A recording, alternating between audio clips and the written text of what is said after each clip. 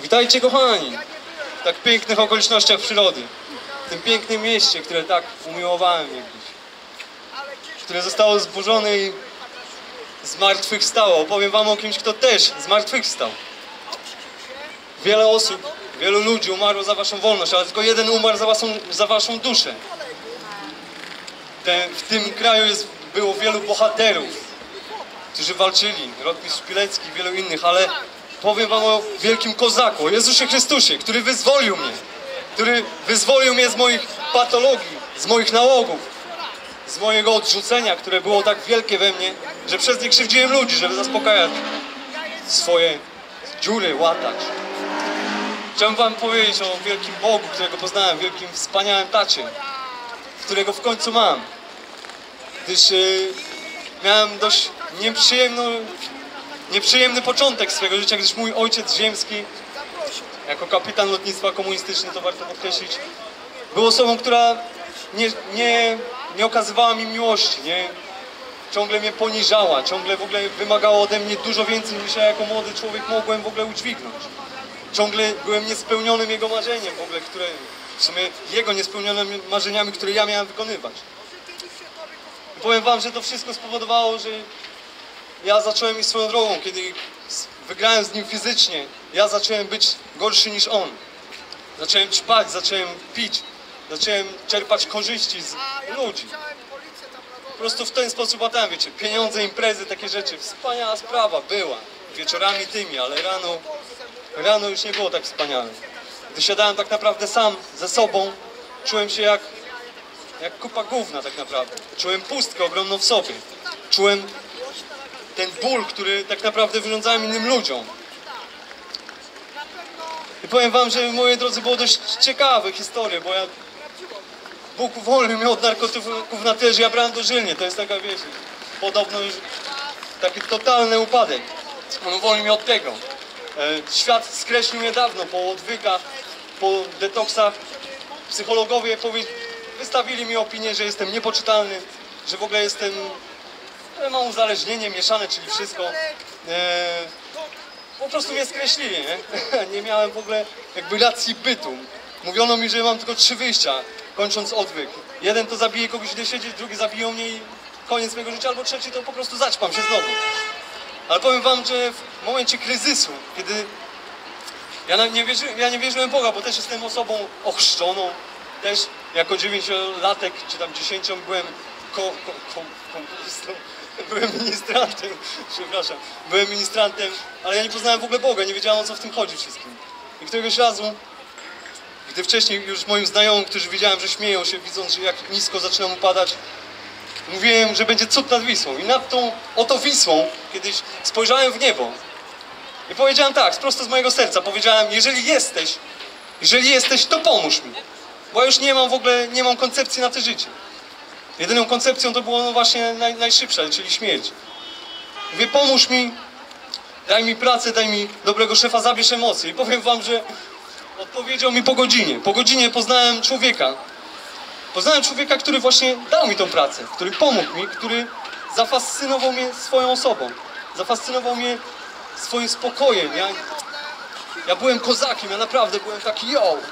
E, Mnie nie dało się niby zagiąć, ja wewnętrznie byłem rozsypany, a w jego oczach widziałem spokój. I ten spokój zaczął mnie fascynować. Jego mowa, która nie była taką łaciną podwórkową, to mnie zainspirowało, wiecie? Okazało się, że ten człowiek znał Jezusa, poznał go. I powiem wam, że ja, z, pod, będąc z nim przebywając, ja poznałem też tego Jezusa. W taki sposób, że w końcu któregoś wieczoru poczułem pragnienie, stanąłem przed lustrem, patrząc w oczy swoje, wyznałem wszystkie grzechy, powiedziałem, że przepraszam, zacząłem płakać, powiem wam, zacząłem płakać. Chłopaki nie płaczą, ale mężczyźni się nie wstydzą łez. I powiem wam, że płacząc, patrząc w te lustra, ujrzałem w nich, ujrzałem w nich, ujrzałem w nich Jezusa. On powiedział mi, że to wszystko zostaje wymazane z mojego życia, że ja nie jestem w ogóle już tym obciążony. Powiedział, że wybacza mi to wszystko. I powiem wam, że co najpiękniejsze powiedział, że już nigdy o tym nie wspomni. Ja sam próbowałem to wspominać grzebać, to ale niepotrzebne. Jezus mnie od tego wszystkiego uwolnił. Bo to jest wspaniały, wspaniały tata, który jest dżentelmenem, jest wspaniałym człowiekiem, który nie przymusza cię do czegoś, żebyś nie mówił później, że on mnie zmusił. Nie, Bóg cię do cze- niczego nie zmusił, On daje ci możliwość, daje ci wolną wolę. Ja dlatego, kochani, zacząłem od tego, żebyście stanęli się zatrzymali, bo to wasz wybór. Ja jestem tutaj po to, żeby mówić. Jezus mówił, głoście. Idźcie i głoście, więc my to robimy, kochani. Ja nikogo nie chcę przymuszać, macie wolną wolę. Ale tak naprawdę wiem, że jesteście radośni, dzisiaj jest piątunio, piąteczek. Jutro będą wszyscy cierpieć, albo pojutrze, jak się przedłuży. Ale tak naprawdę, kochani, ja wiem, że w waszych oczach widać, bo oczy są zwierciadłem duszy, widać ten ból. Ja nie was nie oceniam, nie potępiam. Ja sam ten ból po prostu miałem. Ja wiem, co to za uczucie. Wiem, jak i w jakie sposoby można próbować zaspokoić ten ból, zatkać to. Ale powiem wam, że jest najlepszy sposób, po prostu Jezus, żywy Jezus. To nie jest w ogóle NFZ, to jest za darmo w ogóle. I nie będziecie musieli czekać na to, to się stanie od razu. I to nie będzie zalepienie plasterkiem waszych ran.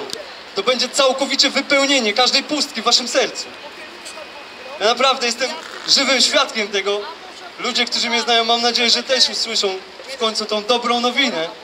Chociaż niektórzy, którzy usłyszeli, zwariowali, bo jak taki człowiek jak ja, moja mama się zdziwiła, jak taki człowiek jak ja może teraz mówić o Jezusie? Przecież ja chciałem zabić tatę, przecież ja pokazałem wszystkich wokół. Przecież sąsiedzi na mój widok uciekali. Ale ten Jezus dał mi miłość, wlał we mnie miłość.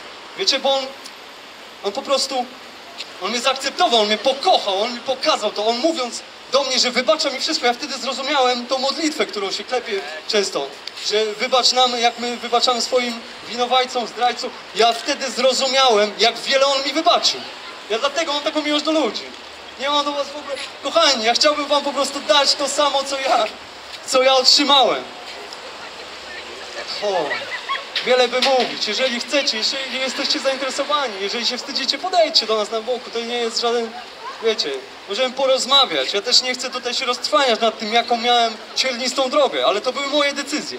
Jak tu brat Szczek poprzednio wspomniał, to diabeł mi podsuwał. Ja wchodziłem w to wszystko, wchodziłem w to wszystko. Było fajnie, wiecie. Naczpany człowiek, kolorowy. Ale tak naprawdę czułem ból.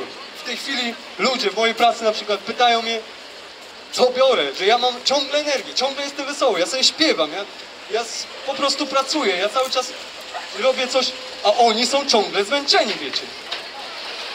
A to jest jeden, jedyny Jezus, którego możecie mieć za darmo, jeżeli do Niego zawołacie, wiecie, to my nawet nie musimy w tym uczestniczyć. Jeżeli Ty ze swojego serca, a swoimi ustami wyznasz to, uwierzysz w to, że On to zrobił, On jest żywy. To Wam chcę powiedzieć, kochani, On jest żywy. On jest cały czas wśród nas i przy nas. Nie w kościółku, nie przy ołtarzu. Nie będziecie robić figur sobie, nie rzeźbić.